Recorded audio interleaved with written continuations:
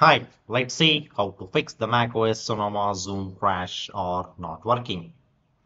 Are you experiencing the issues with the Zoom or the macOS Sonoma device? You are not alone. Many users have reported the problems with the popular video conferencing app or crashing or not working properly on their device. Fortunately, there are several steps you can take to fix these issues and get Zoom up and running smooth again. So let's see how to fix the macOS Sonoma Zoom crashing or not working. The first method is update the Zoom app. Always try to use the latest or the updated version of the Zoom app. If you are using the older or the outdated version of the app, you will face these kind of issues.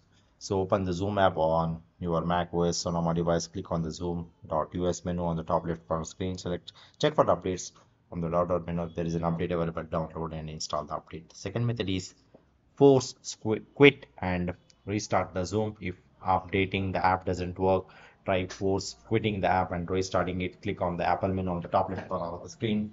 Select force quit from the drop down menu. Select zoom app from the list of the app and click force quit. Open the zoom app again and then check if the issue is resolved. Third method is reinstall the, zoom.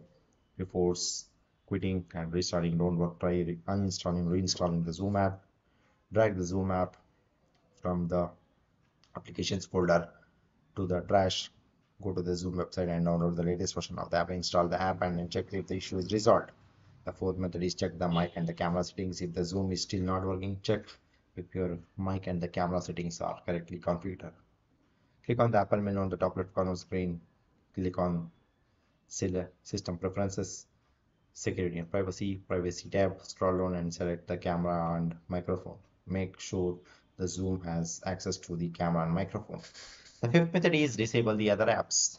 Sometimes the other apps running in the background can interfere with the zoom and cause it to crash or not properly. To close try to close all the other apps and see if the issue is resolved. Click on the app. Apple menu on the top left corner of the screen. Select force quit on the drop down menu close all the apps running in the background open the zoom app and uh, check if the issue is resolved. Okay? So this is how you can fix the particular issue mac os zoom crashing or not working. Okay?